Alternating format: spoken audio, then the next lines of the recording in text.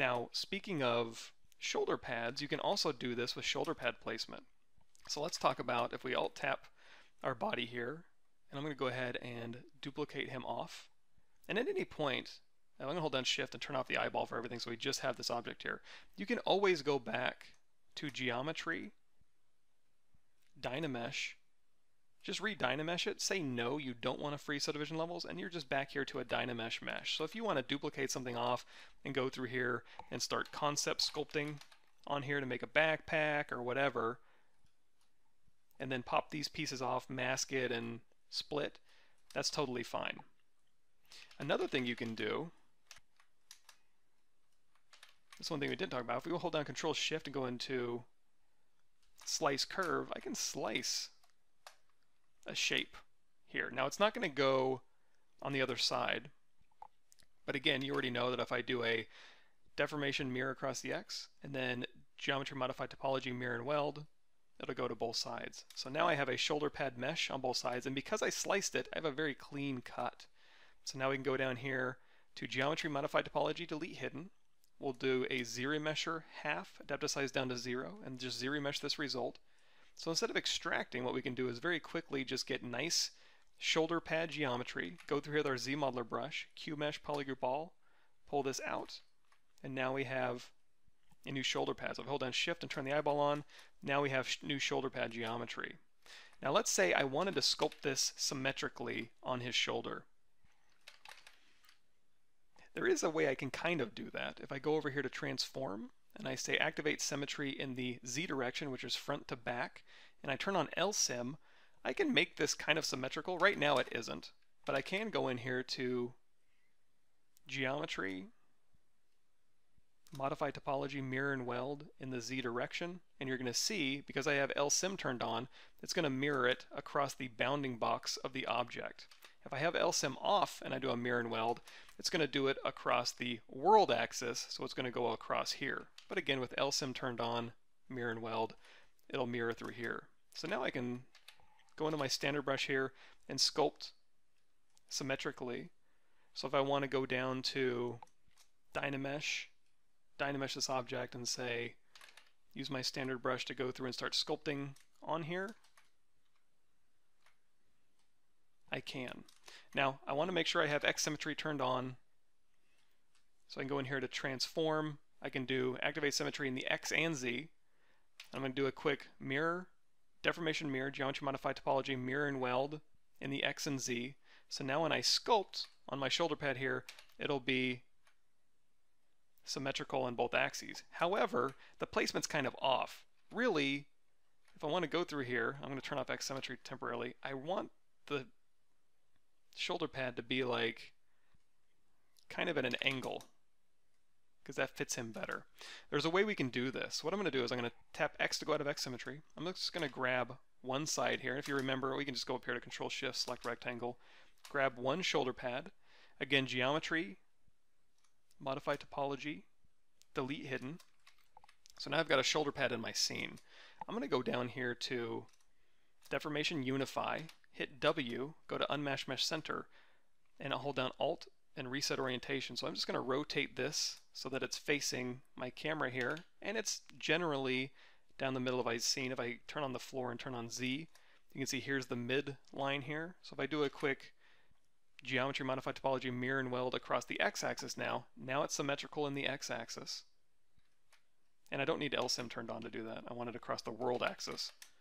So if I turn on X symmetry now and you know go through and sculpt on this, we turn our transform back to just X symmetry here.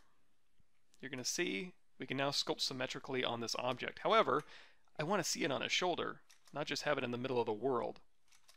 So what I can do is, I'm going to go out of dynamics here, let's go into our macro, let's drag this over here, and under macros there is a create instance subtool. So I'm going to snap my camera to the front, I'm going to hit create instance subtool. And what that's going to do is it's going to hide my original mesh that I was sculpting on and give me a new mesh. Only this mesh isn't real. You're going to see if I try to sculpt on it, it won't let me do anything.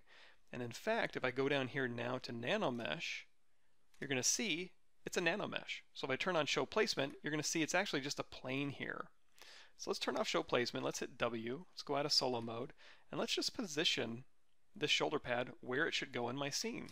So if I want to go through here and scale this down and kind of position it wherever it should go. And if you look here, it's, at, it's uh, it also has fit turned on, which means I can put the shoulder pad where it needs to go, and I can also control drag off a copy, and I can even scale this down and use it as an elbow pad if I want. Now you may be thinking, okay, that's great, but now what if you want to sculpt on it? Well, that's when you go in here to edit mesh, and by default, I need to turn on X symmetry, and this still has, it's still a Dynamesh, and Dynamesh resolution is still on. However, it did make it quite a bit bigger, so when I control drag, it's going to make it much more dense. So you may need to turn that Dynamesh resolution down just a bit.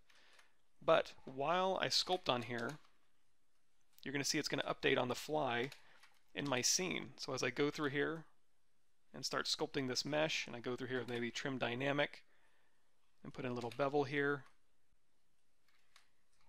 use my move brush, control drag to redynamesh, it all updates on the fly as I'm sculpting. In fact, I can go in here to BI, brush insert, or go in here to my comma key. Let's go back in here to brush, insert IMM, grab the dragon bones again, hit M, grab a horn, pull horns on here, and again, it's going to update on the fly. Uh, this is all Dynamesh here, so let's go ahead and just we can turn on LSym if we want to scale this on this local axis here. Control drag, control drag again. Change that transition a little bit, and you're going to see, if we go out of Edit Mesh, these have all been updated. Now you might be thinking, well, what if I want this over here on this side? Well, if we turn on Show Placement, you're going to see they're just planes. So all I can do is turn off LSym, because you want to go across the world axis. You're going to do a geometry modify topology mirror and weld across the X. And then you're going to see I have planes over here. Now this, they're a little bit off. You see these ones look right, these ones don't. What you need to do is go into your Z ZModeler brush, BZM, hover over a face, turn off X symmetry, and over on this face we're going to say spin edges. So we're going to spin edges, or unmask first. So we're going to click one, two, three, and then back on this one, one, two, three, and now they look the same on both sides. I can go back into Nanomesh, turn off show placement, go back in here to edit mesh, and now as I go through here and sculpt, let's go ahead and turn on X symmetry. You're going to see it's going to update on both sides at the same time.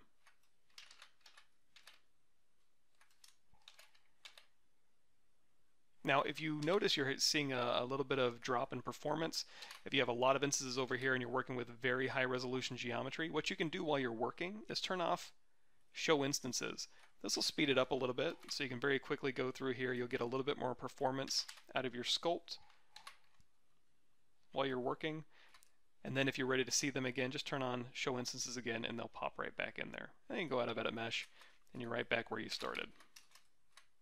Now going back to the fiber mesh in MicroPoly, let's do a really quick pass on fiber mesh functionality. So we'll go through here, and I don't suppose, well, we can keep these shoulder pads if we want, but let's say, you know what, I don't really want these elbow pads anymore. So I can turn on show placement, and again, these are just planes. So I can hold down Control Shift and Alt, get rid of those planes, say Geometry Modify Topology, Delete Hidden, and now they're gone. We can turn show placement off, and I can continue to work on these as needed.